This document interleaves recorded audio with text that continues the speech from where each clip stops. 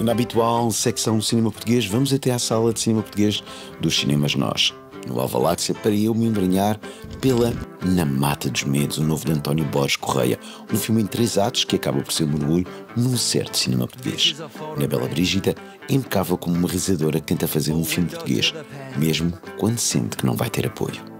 Quem é esta realizadora que tu interpretas? Esta realizadora, se calhar, é um alter ego dos três autores, que, que é Ribeiro. Arthur Ribeiro, António Borges Correia e, uh, e eu, uh, e que vem ao, uh, que transporta esta ideia do filme, um bocadinho a Mizanabim, nas três partes, que é a própria escrita, a primeira parte do filme, que são os castings, e a terceira parte, que é a concretização do filme. E pronto, acaba por ser um bocadinho o alter ego e a representação deste, destes três autores. O meu nome é Alice, sou realizadora. Quando era mais nova, o meu lugar de evasão era a sala de cinema.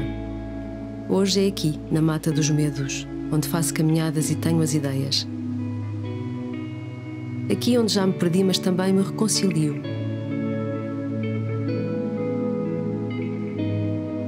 Estou na fase de preparação de um filme sobre os primeiros amores.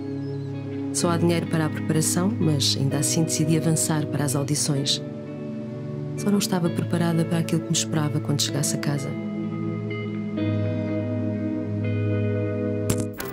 Na Mata dos Medos já está em exibição. Para além da Anabela, tem o Vicente Fallenstein, o Cláudio da Silva e a Joana Bárcia, atriz lendária para quem achava a década de 90 prodigiosa.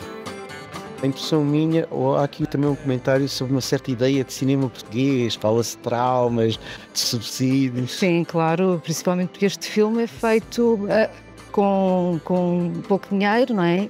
E também a primeira parte é, é um bocadinho uh, documental porque foi feita sem saber se havia apoio para a segunda parte, portanto tem um bocadinho a ver com esse trauma, mas é um trauma também que nos motiva a continuar e, e a fazer sempre porque não se pode desistir, não é?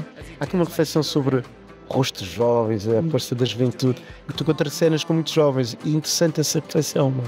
Sim, porque os jovens acabam por ser a, a, a, próxima, a próxima geração, não é? E nós também já fizemos essa, já representámos essa, essa faixa etária. Jovem atriz. Exatamente, já fui uma jovem atriz e há também uma energia contagiante nos jovens, não é? Este filme está nos cinemas nós, na sala de cinema português. Só vos garanto, não há que ter medo do Cinema Tuga.